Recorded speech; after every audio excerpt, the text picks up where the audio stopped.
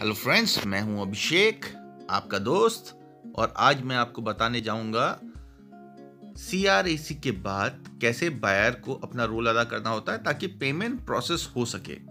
सो so, guys इस video को आखिरी तक देखिए और समझिए कि कैसे आप पेमेंट प्रोसेस करने के लिए बायर से प्रोसेस करना है। डैशबोर्ड पे आप जाइए डैशबोर्ड पे क्लिक करने के बाद बिल्स पे क्लिक कीजिए यहाँ पर प्रोसेस बिल्स पे क्लिक कीजिए क्लिक करने के बाद कुछ इस तरीके से आपके पास एक विंडो आएगा।